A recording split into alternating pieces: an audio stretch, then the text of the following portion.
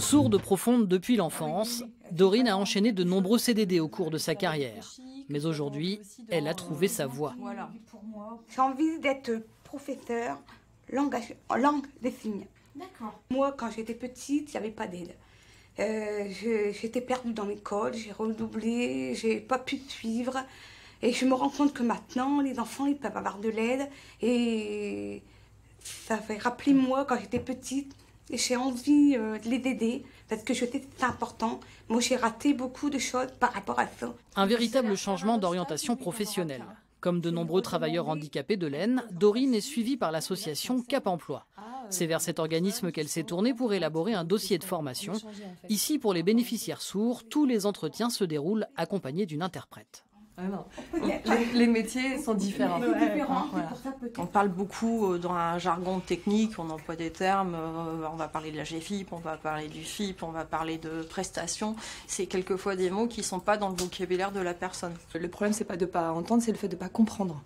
Donc en fait, quel que soit le niveau de surdité euh, de la personne, en fait, il faut toujours vérifier qu'elle ait compris le sens, qu'elle ait compris ce qui été dit. Parce qu'en en fait, même une personne comme Dorit, qui a effectivement une très bonne audition avec son implant cochléaire, avec des séances d'orthophonie, etc., et puis une éducation oraliste grâce à ses parents qu'elle a, qu'elle a eu, euh, malgré tout, il y a des choses qui passent à côté. Grâce aux interprètes et à de nouveaux systèmes, l'accessibilité à l'emploi des personnes souffrantes de ce handicap auditif est mieux prise en compte dans les différents organismes. Pourtant, 34% des sourds restent inactifs selon la Fédération nationale des sourds de France. À l'instar de Cap Emploi, parmi les actions que l'on mène à l'URAPEDA, il faut aussi mieux sensibiliser les employeurs. L'embauche d'une personne sourde en soi est pas ce qu'il y a de plus compliqué. Euh, c'est la maintenir dans le poste qui est plus compliqué finalement aujourd'hui parce que les conséquences de la surdité, effectivement, qui sont globalement peu maîtrisées par, euh, par le monde des entendants, font qu'on arrive sur la durée à des, des situations sûrement un peu conflictuelles liées tout simplement à la non-communication au sein de l'entreprise. Parmi les 300 salariés en CDI de ce supermarché de Soissons, Jérôme, Jérôme et Jérôme, trois employés sourds qui travaillent ici depuis plusieurs années. Fin 2018, suite à un changement au sein de la direction, ils ont vu huit de leurs collègues, dont Julien, bénéficier d'une formation de trois jours en langue des signes française. On a appris à segmenter les, jours, les, moments de la journée avec le matin et l'après-midi. Ça c'est la journée et ça c'est l'après-midi. On est moins dans du superficiel, on se contente plus du bonjour, merci, au revoir, donc on peut échanger un petit peu.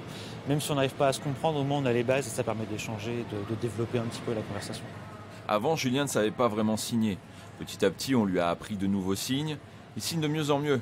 Il est curieux et fait l'effort d'apprendre à signer. Nos conversations, nos échanges s'améliorent. Ça fait plaisir et ça fait du bien. Notre patron aussi veut apprendre à mieux signer. Cela va permettre aux sourds et aux entendants d'être à égalité en communication.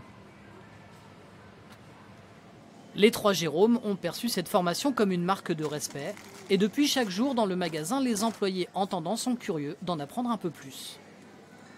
Un mot, c'est une image, c'est très représentatif, c'est très gestuel.